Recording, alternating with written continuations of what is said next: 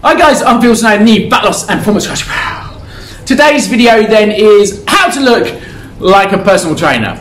Right, this all come about, uh, I just recently done a blog on this, uh, from a client I asked a question, uh, if I could answer one thing, what would it be? She was like, well, how do I look like you guys, i.e. personal trainers?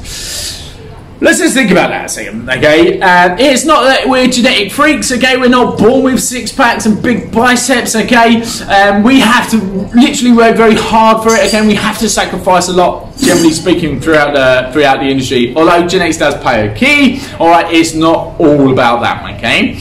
The first thing is we are motivated to kind of look a certain way. We are our own calling card. We're our own advertisement, okay? So if we're not in very good shape, okay, myself, a fat loss and performance coach, then it's not likely that I'm going to pick up much business from being a fat performance coach, for instance, okay? So I have to be in a certain way. That's my main motivation. Number two, my nutrition is pretty bang on, okay? Uh, we all know pretty much how to eat better. Again, it's part of the motivation, so we're more likely to eat better as well. That's not to say that we don't have blowouts. Uh, if you've ever seen a personal trainer on the piss, you know how lightweight they are. But we're kind of working for a very long period of time where we're concentrating on our nutrition and our training so that we can be in shape and uh, earn that night out as well.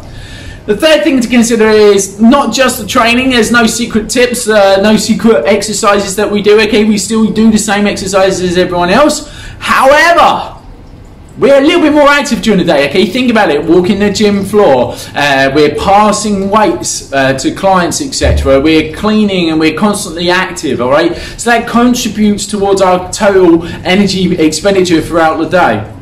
So putting that all together, we kind of live in this environment where we're very fortunate, very lucky and what have you, that we can live in a gym and eat very well. But we also have to sacrifice a lot. We don't go out as much in the evenings because we're working till late at night. We have to be up early in the morning for our 6 a.m. clients, possibly earlier as well. We get a chance to nap during the day so we can kind of rest and recuperate.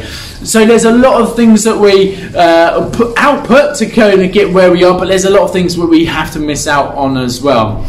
And if you're looking to get a six pack, you may genetically be very lucky. You may be fortunate enough to get the time into the gym. That's great, but you kind of have to set your expectations. All right, you need to be training at least five times a week to get that six pack. If that's so what you're after, you have to really nail down your nutrition. Yes, you can get a, a, a six pack by eating shit food and cutting down your calories, but it's not going to do you well in the long run, okay? So balancing it out, guys, is it really worth it? The pain and sacrifice just to get a six pack?